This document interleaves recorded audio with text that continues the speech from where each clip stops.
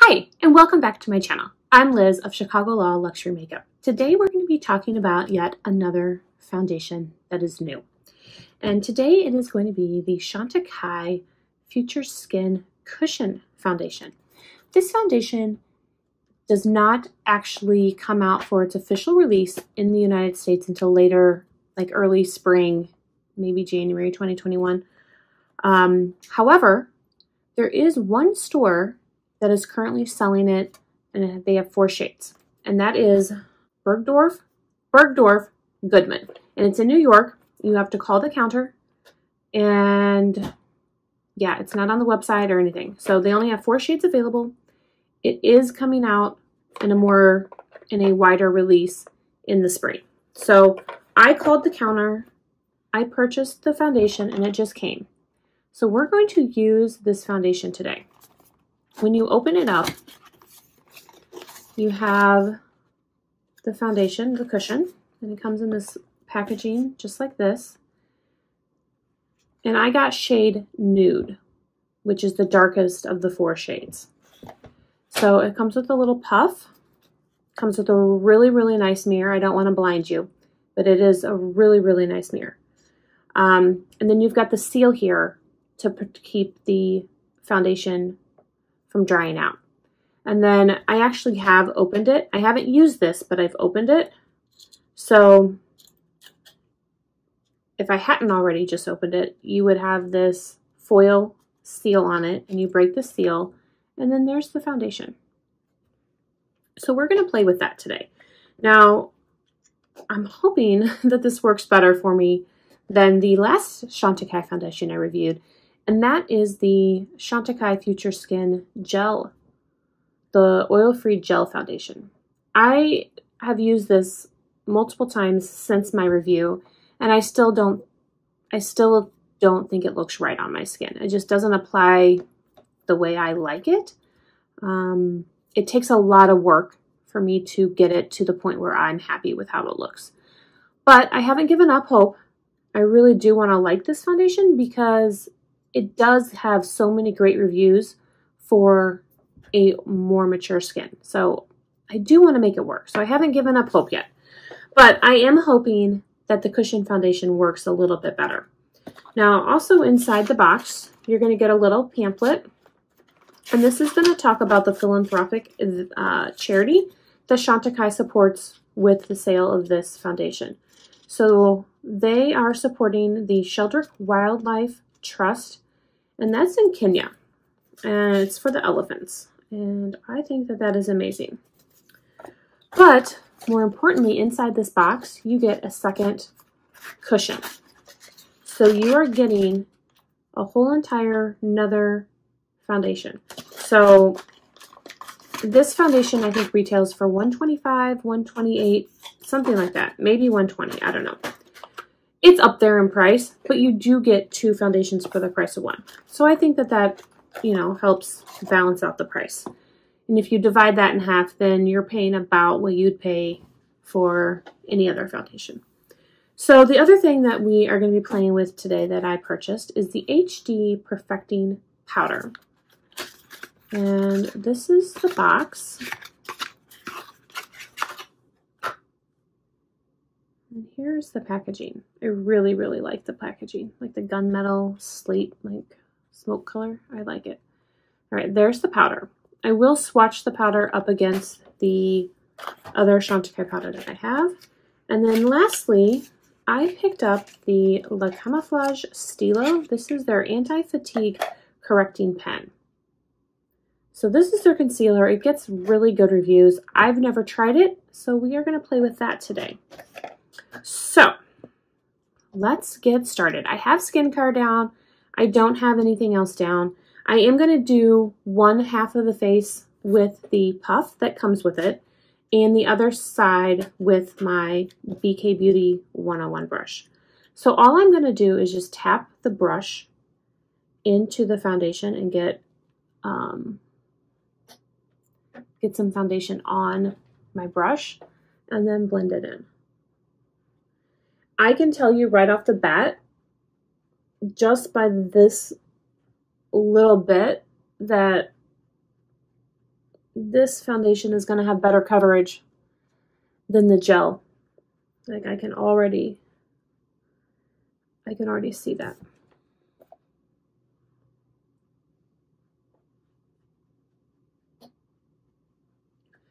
I do think the color is just a little bit light for me. But again, I'm like I said in my last video uh, my Gucci foundation review, I'm okay with that because I can build up the color as much as I need it to. And I'm actually using the brush but kind of like a sponge because I'm patting it into my skin.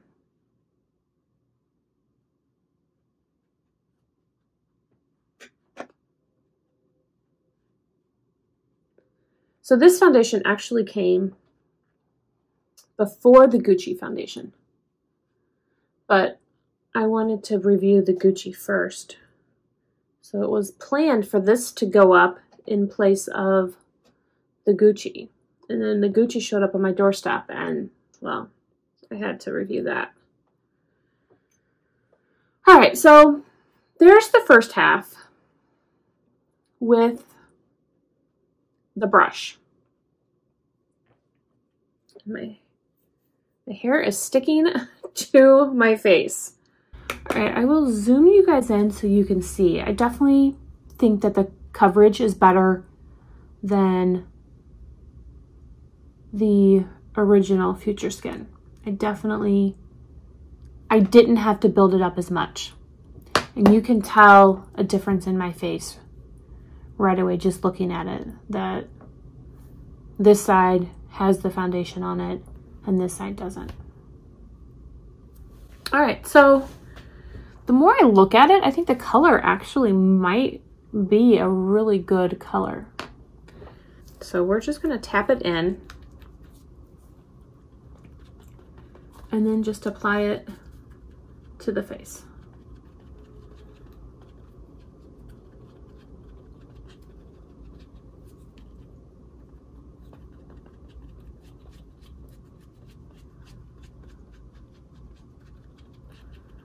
I don't see to me that just seems like so much wasted product.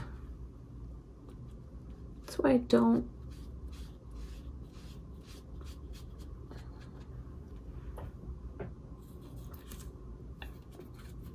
I just feel like the coverage is better using the brush than the puff.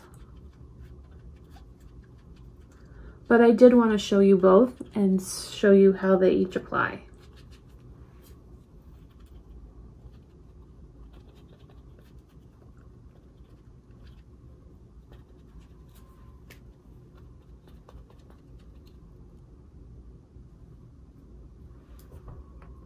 I definitely see more coverage on the side with the brush.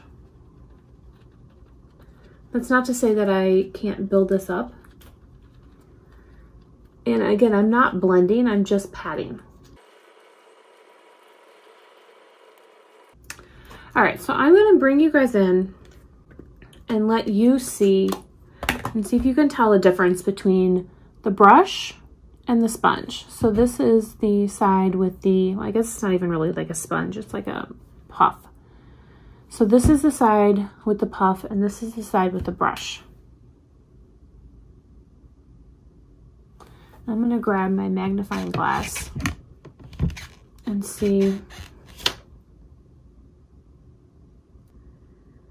Yeah, I think I personally prefer the side with the brush. But that's not to say someone else looking at me would think the same thing or even notice a different. I mean, I can guarantee, thousand percent. If I walked over to my husband and said, which side of my face do you like better? Can you tell a difference? He would say no. He cannot tell a difference. I ask him all the time, you know, how's my face look? He's like, it looks the same as yesterday. So, um, so he would not be able to tell, but that's not to say that someone else couldn't see a difference. So I don't know. They look close, but I think I pref still prefer the brush. Now I am going to swatch these two foundations for you and show you. So that is the nude.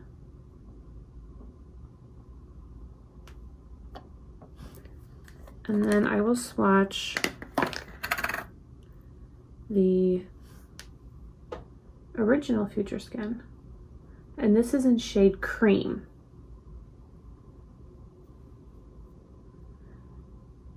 And the cushion one dried down pretty quickly.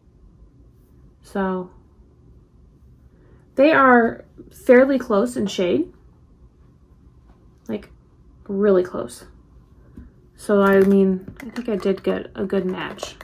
What it says about this foundation is it is a fresh, water-based skincare foundation formula that blurs imperfection and infuses the skin with ingredients with powerful anti-aging and anti-pollution benefits while leaving it looking flawless. Lightweight and instantly perfecting, this refillable soft cushion makes building coverage beautifully simple. Apply with the puff for a natural fresh finish or apply with your fingers for even more ease. Now I did not apply with my fingers. I typically don't apply foundation with my fingers, but I suppose that is something that I could do. I don't even think it's a contest right now. Like, I definitely prefer the cushion over this.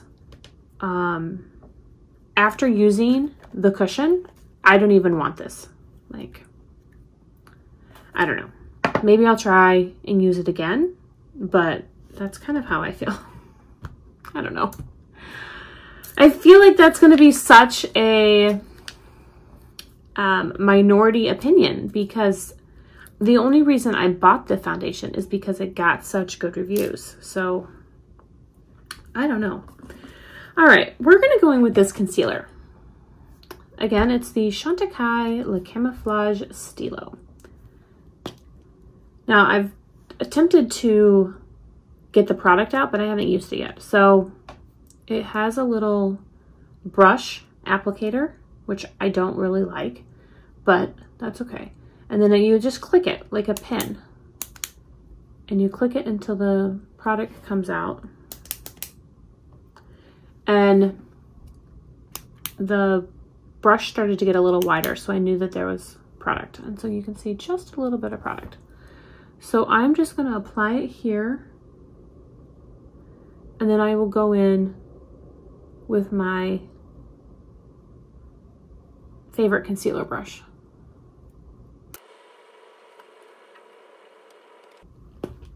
I want to just feel the formula. I should have done that with my fingers at first because I like to feel the consistency of concealers.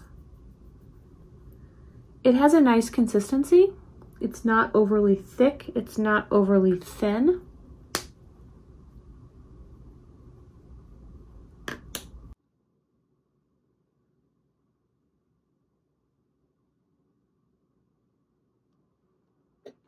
We'll see how it does with what it claims, which is the Anti-Fatigue Corrector Pen. It's a skincare infused concealer that helps camouflage visible signs of fatigue and aging. Well, I got just a little bit of sleep last night, so let's, we're going to put this concealer to the test today. I don't dislike it right off the bat. That's, that I can tell you. It has a nice feel. I think this color is perfect for my skin.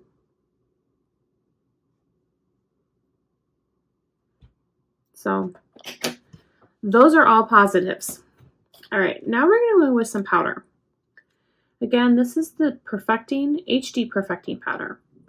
It looks really bright white, especially when I compare it to the other powder that I have, and this is the Perfect Blur Finishing Powder. So those are the two side by side.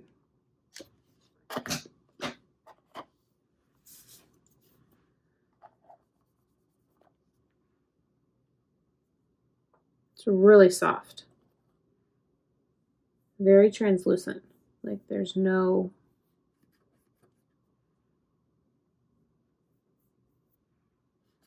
both of these just blend into my skin. You can't even see. Like there's there is no looking. So this should blend right down into my skin. To apply it, I'm going to use my La Mer powder brush, which is what I use almost daily. And we'll just swirl it around and apply.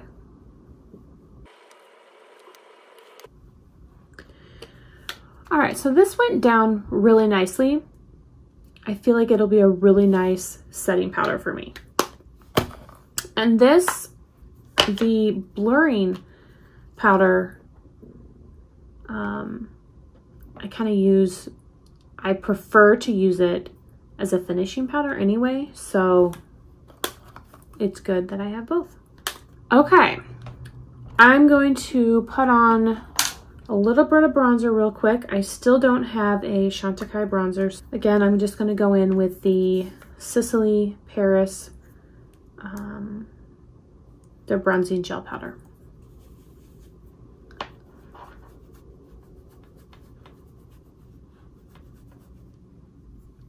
All right, for highlights, I'm going to use, again, the Les Paillettes. And this is their highlight. So I'm just going to take that real quickly and apply it.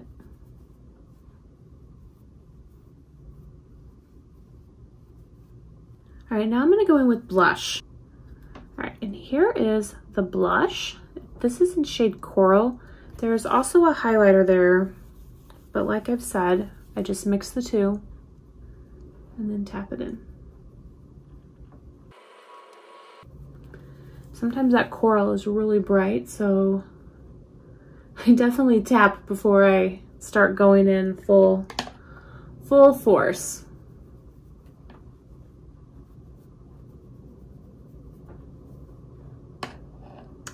All right, so there's the blush, the highlight, and the powder. And now we will finish up with eyes. Okay, for eyes, we're gonna do just a really simple look using these luminescent eye shades that I have. And I have Crane and Cheetah.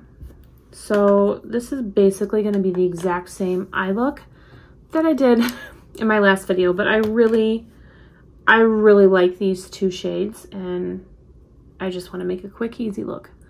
So I'm just going to apply Crane in my outer corner and my crease. Like,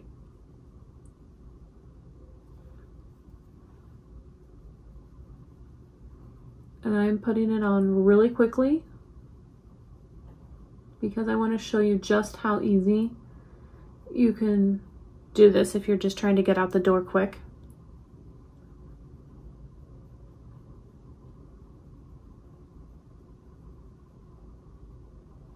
So all I did was take it in the outer, the outer half of my eye and blend it up.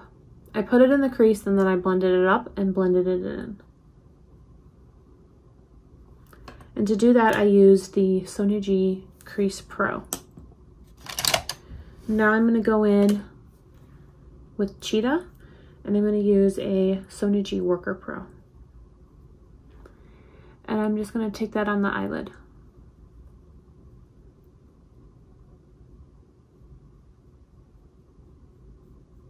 And then that's it.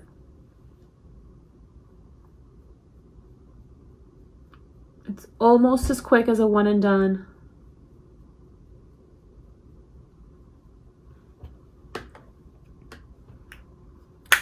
But it is perfect.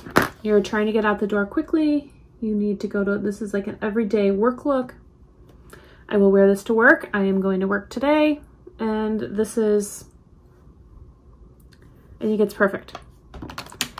I'm going to line my eyes real quick and I'm going to use the Luster, Gluster Glide Silk Infused Eyeliner in Slate. And I will throw on some mascara and this is the Chantecaille Faux Cils Longest Lash. And I will be right back. All right, so my mascara, my eyeliner is on, and now I'm just going to throw on real quickly some lips. I'm not even going to do lip liner.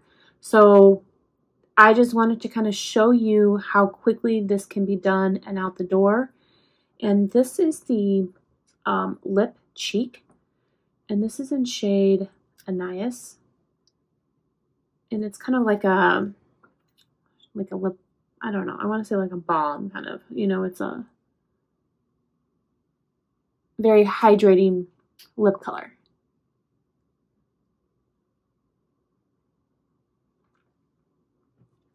So I'm working from home. I'm not going anywhere, but I still want to have makeup on. I still will be on Zoom.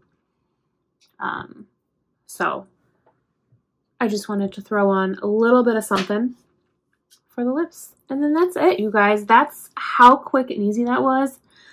I, my initial thoughts, my initial reaction, like I said, huge fan of this foundation. I'm going to bring you in so you can see how everything looks um, with the rest of my makeup on.